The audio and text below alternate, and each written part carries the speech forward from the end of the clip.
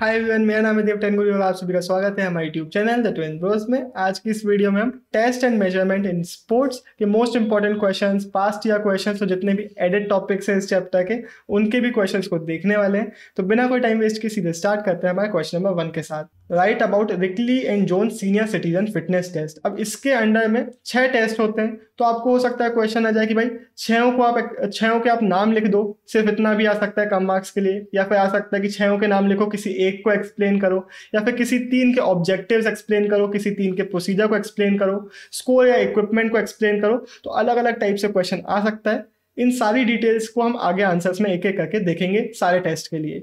यहाँ पे मैंने एक स्लाइड में पूरा डाल दिया है कि भाई कितने टेस्ट होते हैं और वो किस चीज़ के लिए होते हैं। इनसे भी दो टाइप के क्वेश्चन आ सकते हैं और पहले भी पास्ट में आ चुके हैं। वो हम जब आंसर देखेंगे तो साइड में भी आपको प्रीवियस ईयर क्वेश्चंस और कुछ इंपॉर्टेंट क्वेश्चंस भी देखने को मिलेंगे। तो किस टाइप से आ जाते हैं? कि भाई आपको एक एल्डरली सिटीजन का लोअर बॉडी स्ट्रेंथ टेस्ट करना है तो कौन सा टेस्ट आप कराओगे? तो आपको लेफ़्ट साइड की इन्फॉर्मेशन दी गई है राइट साइड की पूछी गई है। या फिर आ सकता है कि आम कल टेस्ट आप करा रहे हो तो उससे क्या टेस्ट होगा? तो आपको लेफ़्ट साइड की इन्फॉर्मेशन लिखनी होगी। तो इसको आप एक बार पॉज करिए स्क्रीनशॉट ले सकते हैं और एक बार आप पढ़ेंगे तो पूरा आपका रिवीजन हो रहा होगा। सबसे पहला हमारा आता है चेयर स्टैंड टेस्ट ये सीनियर सिटीजन की लोअर बॉडी स्ट्रेंथ को टेस्ट करने के लिए होता है मेजर करने के लिए होता है। इसके लिए हमें एक चेयर चाहिए, जिसकी स्ट्रेट बैक हो, और सीट एटलीस्ट 44 सेंटीमीटर की हो, ताकि वो कंफर्टेबली बैठ सकें। और एक स्टॉप वॉच चाहिए टाइम मेजर करने के लिए। करते कैसे? मैं आपको पिक्चर के थ्रू समझाऊँगा। चेयर को हम वॉल के टिका के लगा देंगे ताकि वो पीछे खिसके ना और उसमें कंफर्टेबली बैठेंगे शोल्डर विथ अपने लेग्स रखेंगे और अपने जो आर्म्स है उसको इस तरीके से अपने चेस्ट पे रखेंगे एल्बो से रोटेट करके और फिर जैसे ही थर्टी सेकेंड का टाइमर स्टार्ट होगा, जो सिटीजन होंगे, जो पार्टिसिपेंट होंगे, वो खड़े होंगे और बैठेंगे, खड़े होंगे और बैठेंगे और जितने ज़्यादा रैप्स कर सकेंगे, उसका अटैम्प्ट देंगे। थर्टी सेकेंड के टाइमर को खत्म होने पे अगर वो खड़े स्टैंडिंग पोजीशन में होते हैं तो इसको भी एक रैप काउंट किया जाएगा। स्कोरिंग इसकी क्या होती है कि थर्टी सेकेंड्स में आपने कितने रैप किए, इसको काउंट किया जाता है। ये टेबल देख के डरिएगा मत, ये मैंने बुक से डाल दी है, लेकिन ये याद करने की ज़रूरत नहीं है, ये कभी भी नहीं पूछी गई है तो इसको रट्टा मारने की बिल्कुल भी ज़रूरत नहीं है। आप जब अपना आंसर लिखेंगे तो उसमें आप इस तरीके से लिख रहे होंगे कि इसकी स्कोरिंग जो है, उसमें हम थर्टी सेकेंड्स के टाइमर में कितने रैप्स कंप्लीट हुए, कितनी बार वो स्टैंड हुए अपनी चेयर से उसको काउंट किया जाता है। फिर आता है हमारा आर्म कर्ल टेस्ट इसका जो मेन पर्पस है, वो हमारी अपर बॉडी स्ट्रेंथ और एंड्योरेंस को मेजर करना है। इसमें हमें फाइव पाउंड का वेट चाहिए विमेन के लिए और एट पाउंड का वेट चाहिए मैन के लिए। एक चेयर चाहिए, जिसमें कोई भी आर्म सपोर्ट नहीं होना चाहिए और एक स्टॉप वॉच चाहिए टाइम मेजर करने के लिए। इसका प्रोसीजर हम देख लेते हैं। इसमें भी आप एक चेयर पे बैठेंगे और अपने डोमिनेंट हैंड पे, चाहे वो लेफ़्ट हो, चाहे वो राइट हो, उसमें अपना वेट पकड़ेंगे सूटकेस ग्रिप पे, जैसे हम सूटकेस पकड़ते हैं, जहाँ पे हमारा जो पाम है, हमारी बॉडी की तरफ़ होगा। और कम्प्लीटली स्ट्रेट होगा। इसके बाद जैसे ही थर्टी सेकेंड का टाइमर स्टार्ट होगा, जो पार्टिसिपेंट होगा, उस वेट को उठाएगा। हमने देख लिया कितना वेट मैन और वेमेन के लिए होगा। और ऊपर जाते समय पाम को अपना अपवर्ड फेसिंग हो जाएगा और पूरा कंप्लीट बेंड होना चाहिए आर्म और उसके बाद नीचे जाते समय कंप्लीट स्ट्रेट होना चाहिए आर्म इसमें जो हमारा अपर आर्म है, वो स्टेबल रहेगा और एल्बो के नीचे जो आर्म है, वो ऊपर जाएगा और पूरा नीचे तक जाएगा।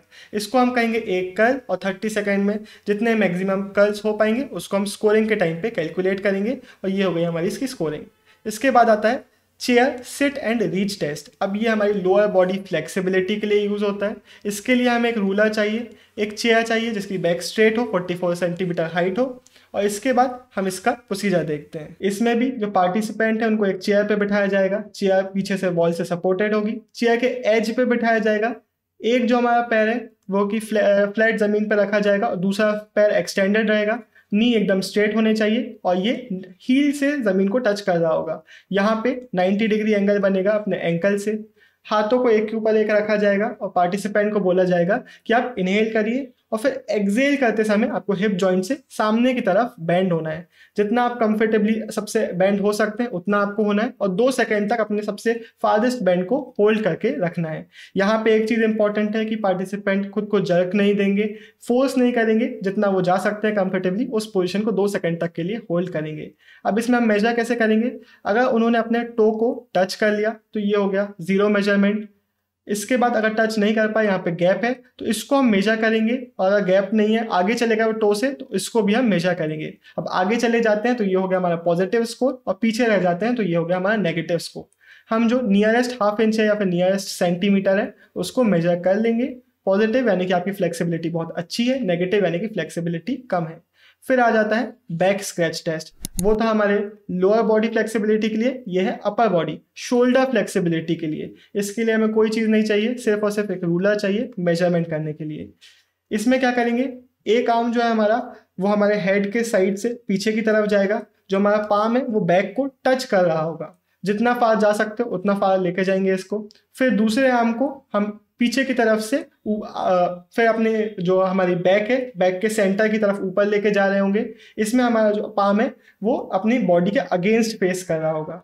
इसमें अटेम्प्ट यही है कि जितना ज़्यादा हम एक दूसरे को ओवरलैप कर सके, उतना करना है। यहाँ पे भी कोई ओवर फोर्सिंग नहीं होनी चाहिए जबकि मूवमेंट्स नहीं किए जाते हैं इसमें भी। अब यहाँ पे अगर टच हो जाता है आर्म फिंगर्स हमारी टच हो जाती है तो हम बोलेंगे ये ज़ीरो हो गया। इसका स्कोर ज़ीरो आएगा। अगर ओवरलैप करती हैं तो ये पॉजिटिव स्कोर हो गया और टच नहीं कर पाते दूर दूर रह जाते हैं तो ये एक नेगेटिव स्कोर हो गया। इसमें भी हम वही करेंगे, हम नियरेस्ट हाफ़ इंच या फिर सेंटी नियरेस्ट सेंटीमीटर को स्कोर को चेक कर लेंगे, उसको मेजर कर लेंगे। यहाँ पे एक इंपॉर्टेंट चीज़ है टू ट्रायल्स आपको पहले पार्टिसिपेंट को देने हैं ताकि उनको समझ में आ जाए इसको कैसे करना है और उसके बाद जो हमारा एक्चुअल हमारा टेस्ट है उसको करा जाएगा। फिर आता है eight foot up and go test का पर्पज होता है? स्पीड को एवेल्युएट करना एजिलिटी और पर्सन का बैलेंस कैसा है वॉक करते समय उसको एवेल्युएट करना। वैसे एक चीज़ याद रखिएगा, आपको क्वेश्चन में पर्पस पूछा जाए ऑब्जेक्टिव पूछा जाए या फिर कोई और टर्म आ जाए कंफ्यूज मत होइएगा। आंसर हमारे सारे यही हैं। टर्म्स अलग अलग हो सकते हैं क्वेश्चन में, लेकिन आप कंफ्यूज मत होइएगा। इक्विपमेंट्स क्या क्या लगते हैं? एक चेयर लगती है जिसकी स्ट्रेट बैक हो 44 सेंटीमीटर हाइट हो। स्टॉप वॉच लगती है कोन मार्कर लगते हैं मेजरिंग टेप लगता है और एक एरिया लगता है खाली। अब इसको हम करते कैसे हैं? चेयर वॉल के किनारे रखी जाएगी, जिसमें पार्टिसिपेंट को एकदम नॉर्मली बिठा दिया जाएगा। पैर ज़मीन पर रेस्टेड होंगे, हाथ पैर के ऊपर रहेंगे। उसके बाद एक कोन हम मार्क करेंगे, जो कि होगी हमारी एट फीट अवे और जैसे ही गो बोला जाएगा पार्टिसिपेंट को पार्टिसिपेंट को खड़े होना है। वॉक करते हुए कोन के अराउंड घूमना है और वापस जाके अपनी सीट पे बैठना है। यहाँ पे वॉक करना है रनिंग अलाउड नहीं है और इस टाइम को नोट किया जाएगा और उससे स्कोरिंग दी जाएगी। यहाँ पे दो अटेम्प्ट कराए जाएँगे पार्टिसिपेंट और बेस्ट टाइम को नोट किया जाएगा। इसमें one tenth of a second को हम रिकॉर्ड कर लेते हैं, यानी कि three point eight seven point six five point eight जितना भी टाइम लगेगा, उतना हम रिकॉर्ड करते हैं। यहाँ नीचे आप इसमें चार्ट भी देख सकते हैं कि कैसे फीमेल और मेल्स के लिए अलग अलग टाइम को सही माना जाता है अलग अलग एज के हिसाब से। सिक्स मिनट वॉक टेस्ट, इसका पर्पज है एरोबिक फिटनेस या फिर एरोबिक एंडोरेंस को चेक करना। इसके लिए हमें एक मेजरिंग टेप चाहिए और एक स्टॉप वॉच चाहिए। अब क्या करेंगे? हम 50 यार्ड का एक रेक्टेंगुलर एरिया को मार्क कर लेंगे। ऐसे में 20 यार्ड से और ऐसे में 5 यार्ड से। टोटल ये 50 यार्ड्स हो जाता है। इसमें हम हर कुछ इंटरवल्स पे कोन्स लगाएँगे ताकि जो डिस्टेंस है वो पता चलता रहे कि कितना कवर किया जा रहा है। इसमें क्या किया जाएगा? सिक्स मिनट्स का टाइम दिया जाएगा और पार्टिसिपेंट को बोला जाएगा, आपको वॉक करना है इस रेक्टेंगुलर पाथ में और जितना डिस्टेंस आप कवर कर सकते हैं मैक्सिमम डिस्टेंस कवर करने की कोशिश करना है। इसमें भी एक ट्रायल रन दिया जाता है प्रैक्टिस ट्रायल दिया जाता है पार्टिसिपेंट को। और साथ साथ जब भी पार्टिसिपेंट चाहे, तब वो रुक सकते हैं। यानी कि ज़रूरी नहीं है कि छः मिनट ही चलाना पड़ेगा। जितनी उनकी कैपेसिटी हो, उतना उनको चला, चलाया जाएगा और फिर उसको मेजर किया जाएगा नोट किया जाएगा कितना डिस्टेंस उन्होंने कवर किया। ये हो गया हमारा सिक्स मिनट का जो हमारा टेस्ट है। इसमें जो नियरेस्ट मीटर है, उसके हिसाब से डिस्टेंस को मेजर कर लेते हैं और ये उसकी स्कोरिंग हो गई। What is B M R how to compute B M R अब यहाँ पे क्वेश्चन सिर्फ़ बी एम आर की डेफिनेशन पूछ सकता है या फिर factors affecting B M R पूछ सकता है। इसको हम पूरा एक साथ देख लेंगे। बी एम आर का फुल फॉर्म होता है बेसल मेटाबॉलिक रेट ये वन मार्क के लिए आ सकता है। इसका मतलब होता है जब हमारी बॉडी रेस्ट पे है तो हमें जो फ़ंक्शंस हमारी बॉडी करती है, जैसे कि ब्रीदिंग हो गया सर्कुलेटिंग ऑफ़ ब्लड हो गया, हमारा बॉडी टेम्परेचर को मेंटेन करना हो गया, इन सब चीज़ों में जो एनर्जी जाती है, उसको हम बोलते हैं हमारा बी एम आर जो हमारी टोटल एनर्जी एक्सपेंडिचर है, उसका 60 टू 75 परसेंट जो है, इन फ़ंक्शंस में बॉडी का जाता है।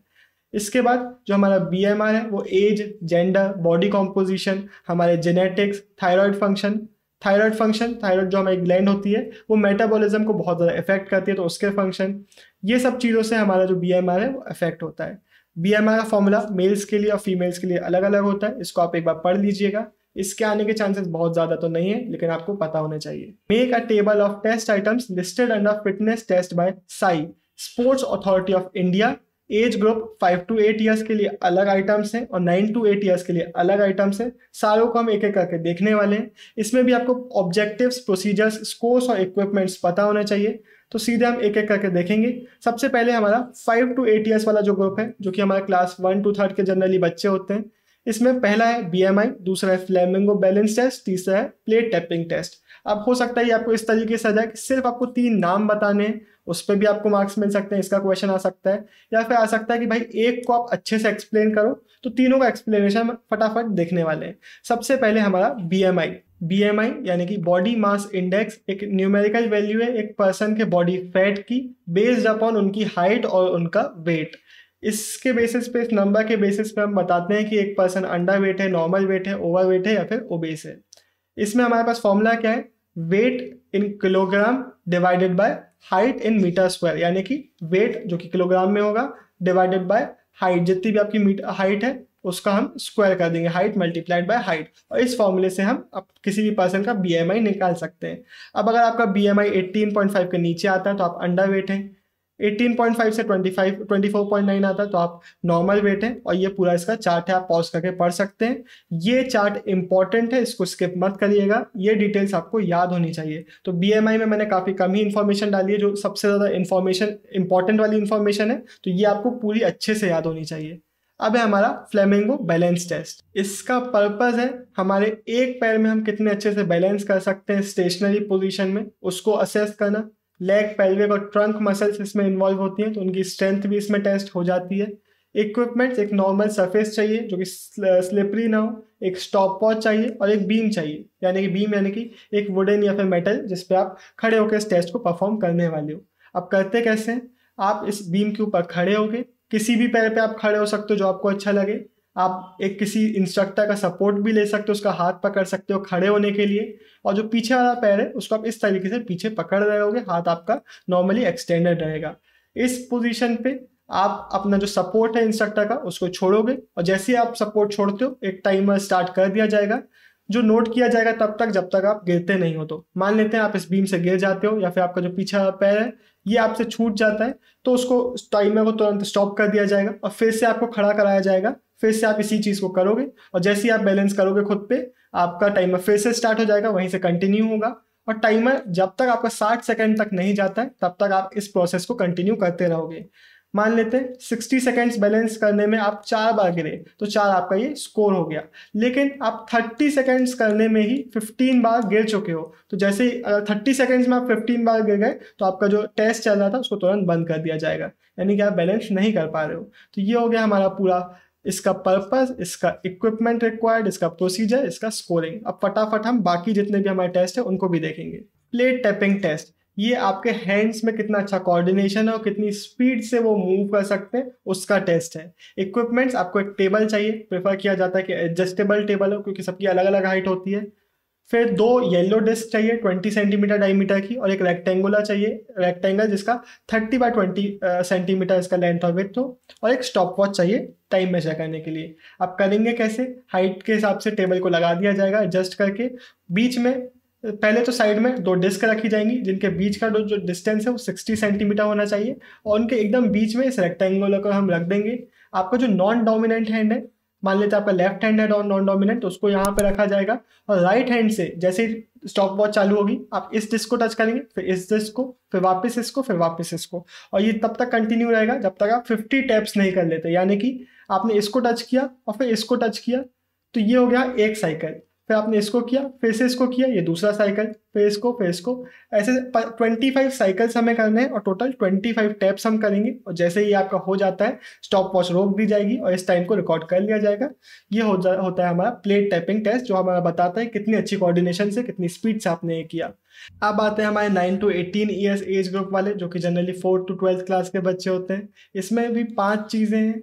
पाँच चीज़ों में से एक चीज़ हम डिस्कस कर चुके हैं बीएमआई इसको हम फिर से डिस्कस नहीं करेंगे बाकी को हम डिटेल में डिस्कस करेंगे। क्वेश्चन इसके भी वैसे ही आ सकते हैं। एक क्वेश्चन में सबके नाम पूछ लिए जाए, सबके ऑब्जेक्टिव पूछ लिए जाए, या फिर ऑब्जेक्टिव्स के साथ बोल दिया जाए कि किसी एक को आप डिटेल में एक्सप्लेन कर दो तो हम सबको एकदम डिटेल में देखने वाले हैं। बीएमआई हमारा हो चुका है। तो बीएमआई के बाद हमारे पास है फिफ्टी मीटर स्पीड टेस्ट इसमें आपकी एक्सेलरेशन आपकी स्पीड असेस की जाएगी।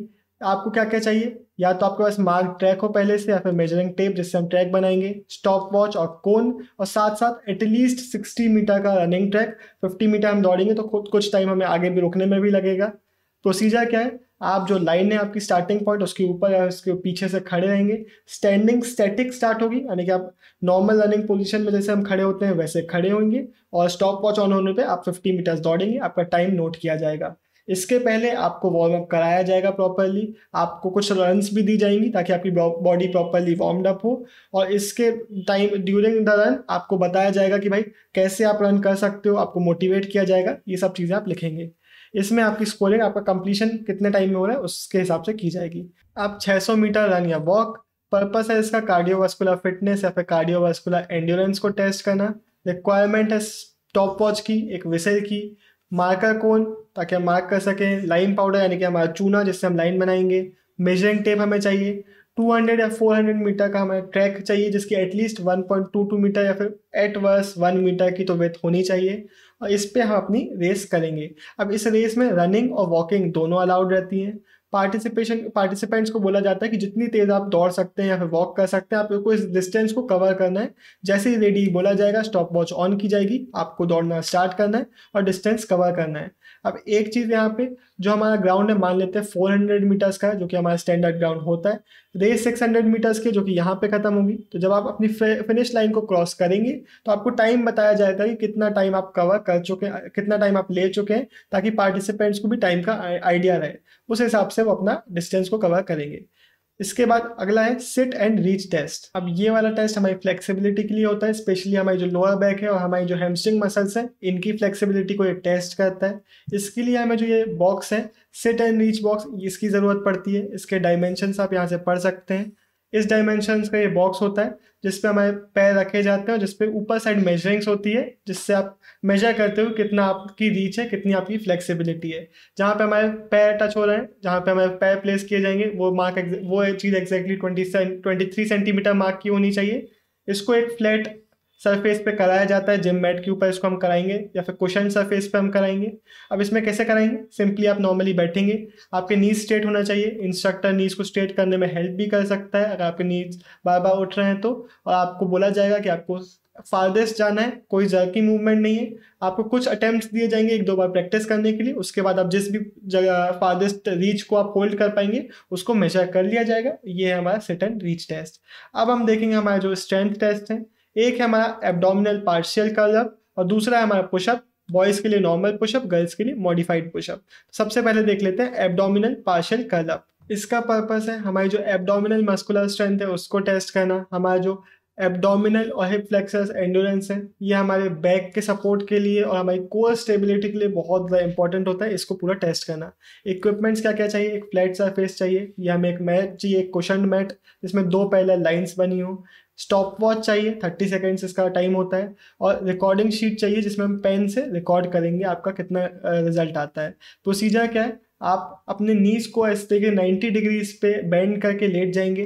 फ्लैट आप लेटेंगे, आपके आर्म्स इस तरीके से ज़मीन पे ऊपर रखे होंगे और जैसे ही टाइम स्टार्ट होगा, आप अपना ट्रंक को ऊपर करेंगे, अपने ट्रंक को ऊपर करेंगे एटलीस्ट सिक्स इंचेस आप ऊपर जाएँगे, अपने जो हाथ हैं वो आगे की तरफ़, ज़मीन से टच होकर आगे की तरफ़ जा रहे होंगे और वापस से ऊपर जाके आप वापस से फ्लैट ज़मीन पर लेटेंगे, जो शोल्डर ब्लेड से वो ज़मीन से टच होना चाहिए। ये जितनी बार आप कर कर पाएँगे, उसको थर्टी सेकेंड्स पर नोट किया जाएगा और ये हो गई आपकी स्कोरिंग अब हमारे pushups upper body strength endurance और ट्रंक स्टेबिलिटी को ये मेजर करने के लिए काम आते हैं। इसके लिए हमें एक फ्लैट सरफेस चाहिए कुशन सरफेस या फिर जिम मैट हम यूज़ कर सकते हैं फ्लैट सरफेस पे। स्टार्टिंग पोजीशन क्या होती है? वैसे तो हम सबको आइडिया है पुशअप क्या होता है, मैं फटाक से एक्सप्लेन कर देता हूँ। हमारी जो बैक है बॉडी एकदम स्ट्रेट लाइन में होना चाहिए बैक नीचे या ऊपर कर्व नहीं होनी चाहिए। हैंड्स एकदम स्ट्रेट रहेंगे, लगभग शोल्डर लेंथ पे फीट के बीच में हल्का सा गैप रहेगा। ये हो गई हमारी स्टार्टिंग पोजीशन अब इस पोजीशन से हम नीचे जाएँगे या तो जब तक हमारे एल्बोस के बीच में 90 डिग्री का एंगल नहीं बनता, या फिर हम यहाँ पे कोई एक ऑब्जेक्ट रख सकते हैं जिसको हम टच करेंगे, उस डेप्थ पे टच करके हम वापस से ऊपर आएँगे। ये हो गया एक हमारा कंप्लीट पुशअप और ये हम तब तक करेंगे जब तक हम कंप्लीटली एग्जॉस्ट नहीं हो जाते, या फिर हम नंबर ऑफ़ पुशअप्स रख सकते हैं कि इतने पुशअप्स हमें करना है, या फिर हम इस तरीके से भी कर सकते हैं कि एक रिदम सेट कर लिए, जब तक हम इस रिदम रिदम में कर पा रहे हैं, तब तक हम करते जाएँगे, और उसको हम एट द एंड स्कोरिंग में काउंट करेंगे। गर्ल्स के लिए अंतर बस इतना है स्टार्टिंग से ही आपके जो नीज है, वो ग्राउंड को टच कर रहे होंगे इंस्टेड ऑफ़ आपके फीट तो ये अंतर है, इससे क्या होता है? पुशअप्स काफ़ी ज़्यादा ईजी हो जाते हैं. इसी के साथ हमारी जो वीडियो है, वो ख़त्म होती है. सारे टॉपिक्स हमने कवर कर लिए आप लिंक ज़रूर चेक कीजिएगा डिस्क्रिप्शन के. वहाँ पे सारे इंपॉर्टेंट लिंक्स मिल जाएँगे. बहुत सारे इंपॉर्टेंट लिंक्स हैं, उनको चेक करना मत भूलिएगा. अगर कोई भी डाउट है तो कमेंट सेक्शन में आप पूछ सकते हैं. वीडियो अच्छा लगा तो लाइक शेयर सब्सक्राइब ज़रूर कीजिएगा. Bye bye signing off time